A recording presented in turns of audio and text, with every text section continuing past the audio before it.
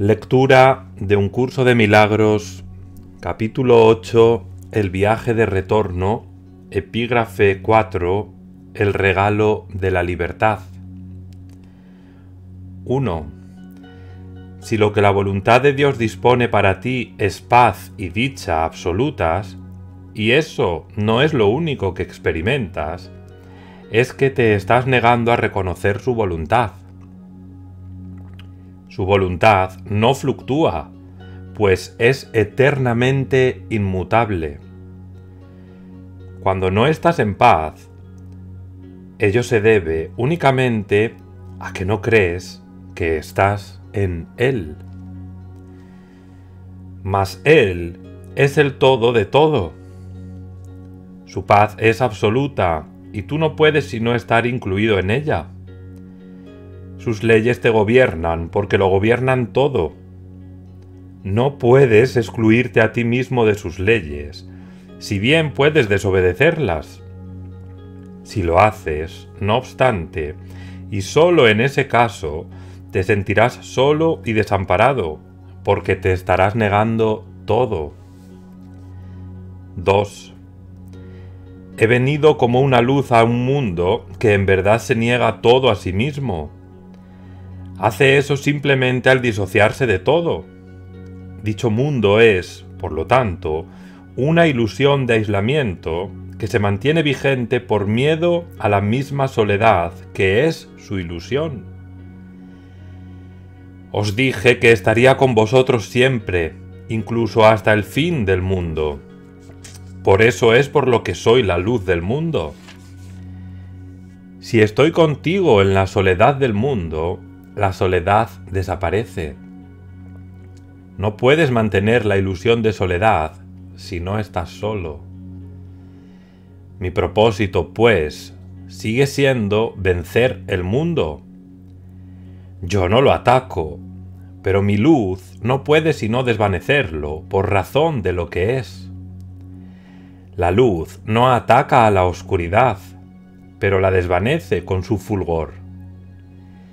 Si mi luz va contigo a todas partes, tú desvaneces la oscuridad conmigo. La luz se vuelve nuestra y ya no puedes morar en la oscuridad, tal como la oscuridad no puede morar allí donde tú vas. Acordarte de mí es acordarte de ti mismo, así como de aquel que me envió a ti. 3. Estabas en las tinieblas hasta que una parte de la filiación decidió acatar completamente la voluntad de Dios. Una vez que esto se logró, todos lo lograron perfectamente. ¿De qué otra manera si no habría podido lograrse perfectamente? Mi misión consistió simplemente en unir la voluntad de la filiación con la voluntad del Padre, al ser yo mismo consciente de la voluntad del Padre. Esta es la conciencia que vine a impartirte. Y el problema que tienes en aceptarla es el problema de este mundo. Eliminarlo es la salvación. Y en ese sentido, yo soy la salvación del mundo. El mundo, por lo tanto, no puede sino aborrecerme y rechazarme, ya que el mundo es la creencia de que el amor es imposible. Si aceptases el hecho de que yo estoy contigo, estarías negando al mundo y aceptando a Dios. Mi voluntad es la suya, y tu decisión de escucharme es la decisión de escuchar su voz y de hacer su voluntad. De la misma manera en que Dios me envió a ti, yo te enviaré a otros, e iré a ellos contigo para que podamos enseñarles paz y unión. 4. ¿No crees que el mundo tiene tanta necesidad de paz como tú? ¿No te gustaría dársela en la misma medida en que tú deseas recibirla? Pues a menos que se la des, no la recibirás. Si quieres recibirla de mí, tienes que darla. La curación no procede de nadie más. tienes que aceptar dirección interna. La dirección que recibas no puede sino ser lo que quieres, pues de lo contrario, no tendría sentido para ti. Por eso es por lo que la curación es una empresa de colaboración. Yo no puedo decirte lo que tienes que hacer, pero tú tienes que colaborar teniendo fe en que yo sé lo que debes hacer. Solo entonces decidirá tu mente seguirme. Sin esta decisión no podrías curar porque ello supondría que habrías decidido en contra de la curación. Y este rechazo de lo que yo he decidido para ti impediría la curación. 5. La curación es un reflejo de nuestra voluntad conjunta. Esto resulta obvio cuando se examina el propósito de la curación. La curación es la manera de superar la separación. La separación se supera mediante la unión. No se puede superar separando. La decisión de unirse tiene que ser inequívoca, o, de lo contrario, la mente misma estaría dividida e incompleta. Tu mente es el medio por el cual determinas tu propia condición, ya que la mente es el mecanismo de decisión. Es el poder mediante el que te separas o te unes y, consecuentemente, experimentas dolor o alegría. Mi decisión no puede imperar sobre la tuya, porque la tuya es tan poderosa como la mía. De no ser así, los hijos de Dios no gozarían de perfecta igualdad. No hay nada que nuestra voluntad conjunta no pueda lograr, pero la mía sola no puede ayudarte. Tu voluntad es tan libre como la mía, y ni siquiera Dios mismo se opondría a ella. Yo no puedo disponer lo que Dios no dispone. Puedo ofrecerte mi fuerza para hacer que la tuya sea invencible, pero no puedo oponerme a tu decisión sin rivalizar con ella y, consecuentemente, sin violar lo que la voluntad de Dios ha dispuesto para ti. 6. Nada que Dios creó puede oponerse a tu decisión de la misma manera en que nada que Dios creó puede oponerse a su voluntad. Dios le dio a tu voluntad el poder que ella posee, y yo no puedo sino respetarlo en honor de su poder.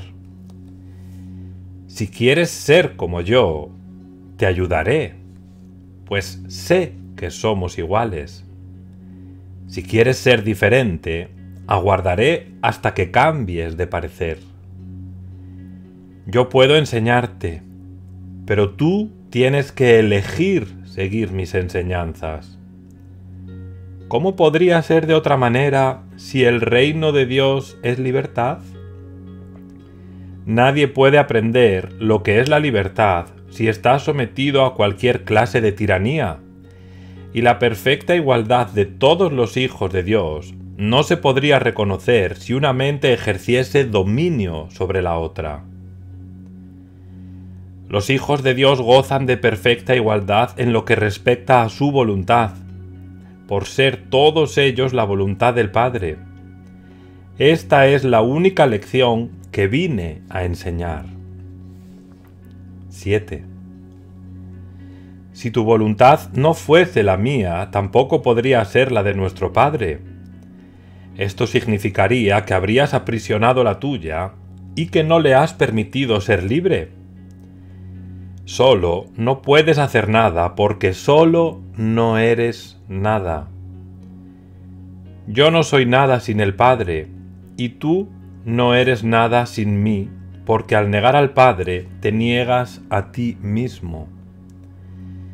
Siempre me acordaré de ti, y en el hecho de que me acuerde de ti radica el que tú te acuerdes de ti mismo.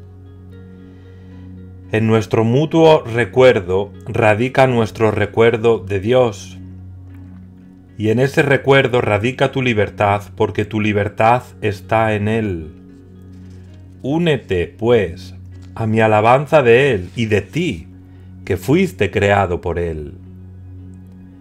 Este es nuestro regalo de gratitud hacia Él, que Él a su vez compartirá con todas sus creaciones, a las que da por igual todo lo que es aceptable para Él.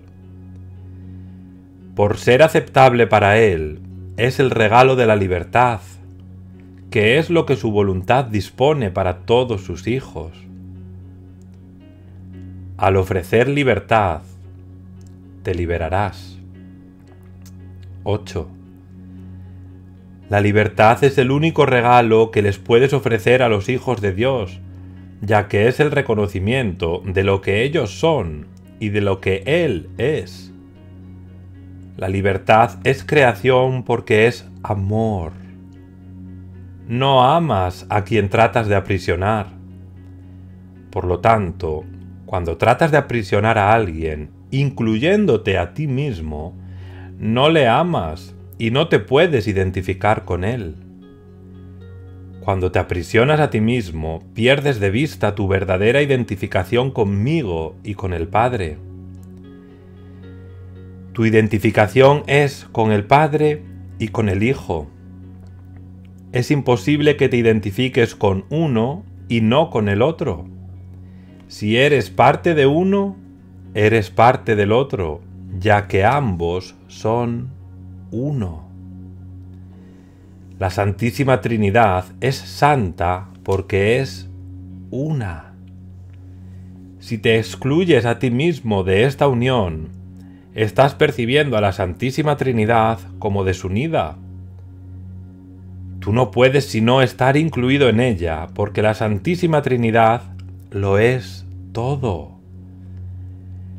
A menos que ocupes el lugar que te corresponde en ella y cumplas la función que por ser parte de ella te corresponde llevar a cabo, la Santísima Trinidad estará tan desposeída como tú.